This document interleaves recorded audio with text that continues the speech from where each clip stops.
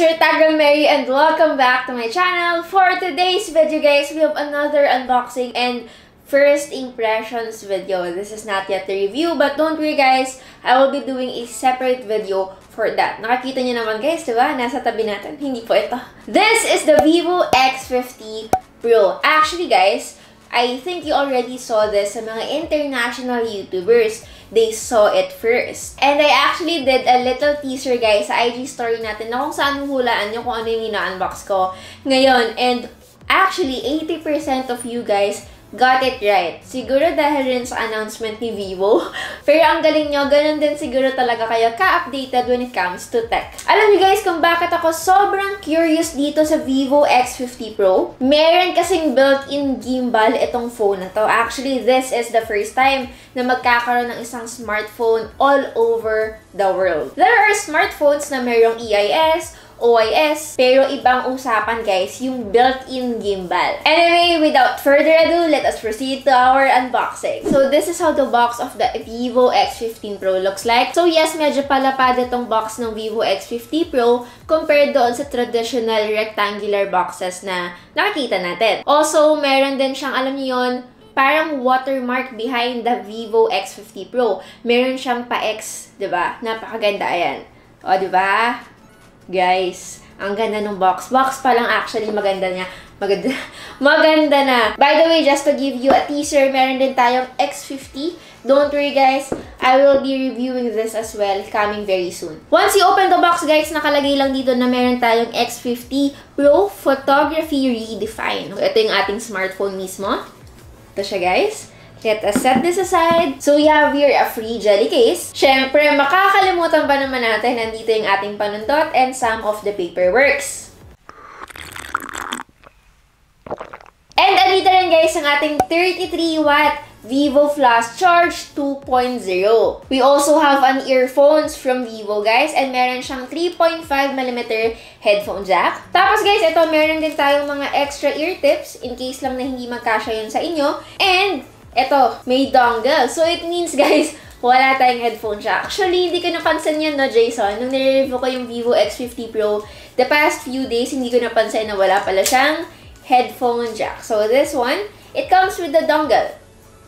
So, this is the Vivo X50 Pro, guys. Ayan ang itsura niya. Napakaganda, ba? Ang color na to, guys, ang tawag nila dito ay Alpha Gray. Actually, isa lang yung kulay na available for the X50 Pro. And yes, guys, here sa camera natin, nakikita nyo naman, it looks very gray. Pero kapag tinitilt siya at natatapatan ng ilaw, meron siyang hint of blue. So, it's a mixture of gray and blue. Actually, guys, to those who don't know yet, trivia lang naman, ano, ang X-Series focus talaga yan sa photography. Probably this is also your first time na makaka-reneg ng X-Series kasi nga hindi naman siya usually nilo-launch here sa Philippines. I think sa China lang. So, yung X-Series, we have the X50, the X50 Pro, and the X50 Pro Plus. But here in the Philippines nga, dalawa yung nilabas nila. The Non-Pro and the Pro. I know some people, guys, they might find the color boring, pero para sa akin, coming from the name itself, Alpha Gray, meaning it's the highest of some sort of group. It makes it more elegant, hindi lang po sa pangalan, lalo na pag hahawakan yung smartphone.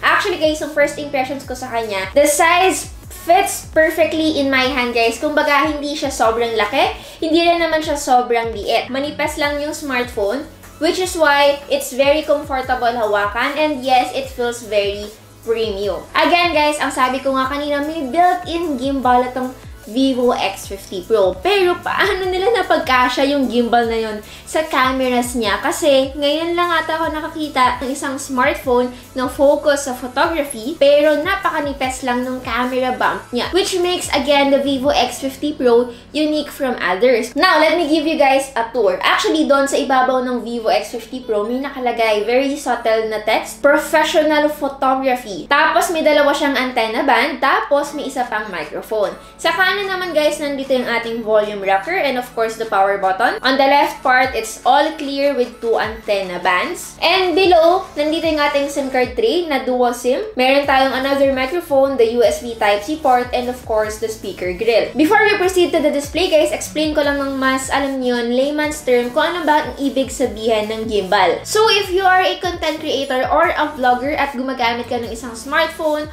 or even a camera, SLR, tapos gusto nyo ng mas smoother yung inyong footage, you usually buy yung mga gimbal like the DJI Ronin series or Xeon or yung Feiyutech na gimbal. But as what Vivo claims, hindi niya na kailangan bumili ng mga additional na gimbal na ganun kasi nga yung camera mismo nito meron ng built-in. Mamaya malalaman natin yan kung tama ba talaga or kung totoo yung kiniklaim nila. For the display guys, meron tayong 6.56 inches AMOLED display with 1080 by 2376 pixels resolution with 90 Hz screen refresh rate. Display guys, nung una ko siyang binuksan, gusto ko lang i-point out to ng mabilisan ano.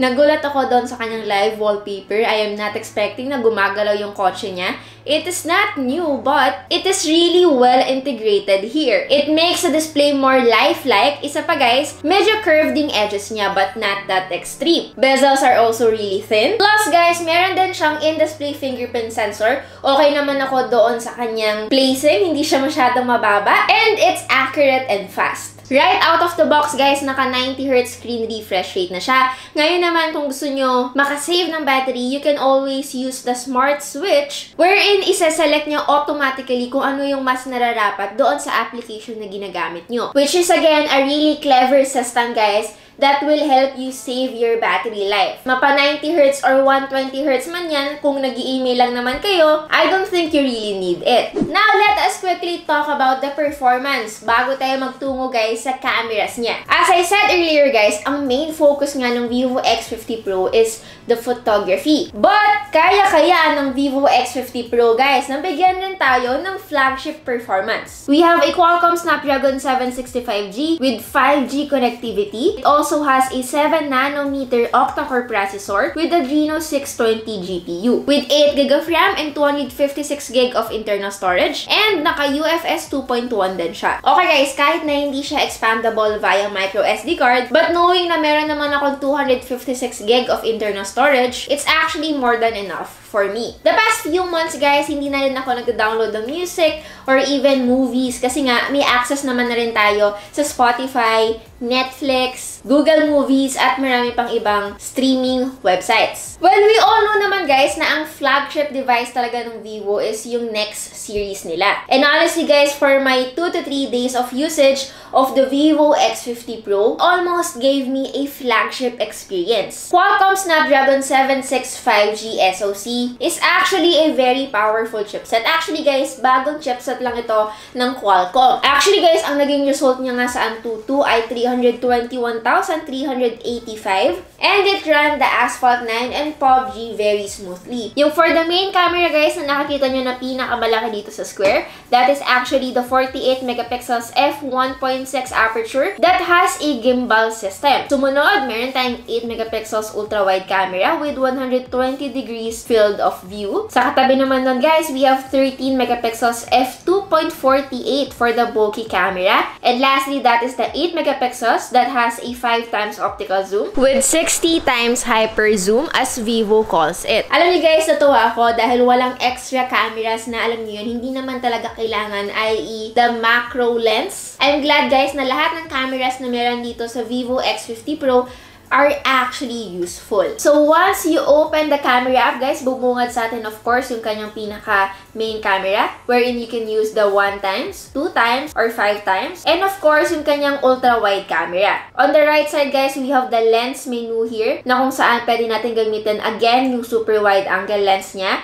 the bokeh mode, and even the super macro. For the portrait mode, guys, meron tayong option on the right side na kung saan we can use the style, beauty, or even change the bokeh. And put filters like vintage, Northland, fashion, and many more. We also have a dedicated night mode, of course, that also has a lot of filters. This is actually my first time, guys, na makakita nito sa isang Vivo device. Of course, para naman sa kanyang video mode, we can change the art portrait to colorful or bokeh. And beside that, guys, ito yung ating ultra stable. And the next clip will show you guys of me testing out the gimbal system. Other than that, guys, if pupunta tayo sa more, we have, of course, the 48 megapixels panorama, live photo, time-lapse, Pro Mode, AR stickers, Jovi Vision, Pro Sports, and Starry Sky. For the main camera guys ng Vivo X50 Pro, na-meet naman yung expectations ko sa kanya. They were very consistent guys, mapa-indoor or outdoor. And for the ultra-wide camera naman guys, okay naman sa akin. The qualities are also good, consistent yung colors niya, kaso hindi lang siya as wide as you'd expect it compared sa ibang devices. But okay lang naman din guys kasi ngayong ultra-wide camera, you can also use it as a macro camera.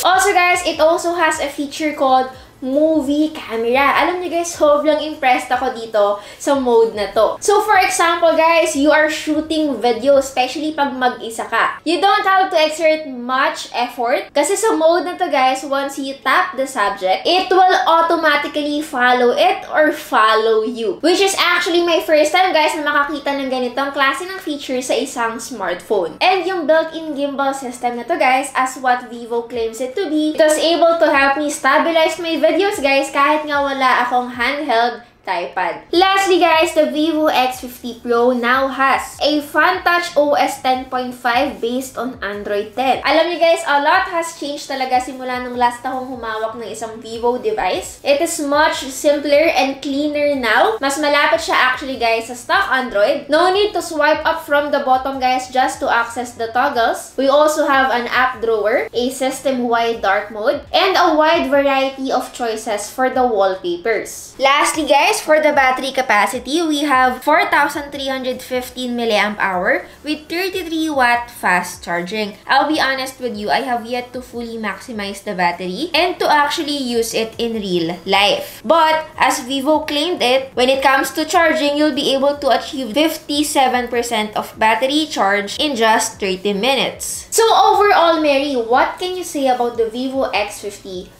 Pro. Alam niyo guys, what really impressed me with this device, you don't have to spend a lot of money on flagship devices yung mga meron tayo ngayon just to have a flagship experience. Again guys, ang sabi ko nga, the Vivo X50 Pro was able to give me a high-end mid-range experience kumbaga close to flagship already. There are a few cons, like of course we no more have a 3.5mm audio port, but they were nice enough guys na mag-provide naman ng dongle. Wala rin siyang IP rating and wireless charging, pero gets ko naman guys, mas magiging mahal of course yung device if lalagyan nila ng ganitong features. And that's pretty much it guys for my cons because the rest, they were able to meet my expectations. Now, for the price, guys, I will be putting down below in the description box. Let me know, guys, your thoughts about the Vivo X50 Pro. Is it something na gusto nyong i-consider or gusto nyo bang mag-upgrade? So again, it's your Tagal Mary and see you on my next video. Bye, guys!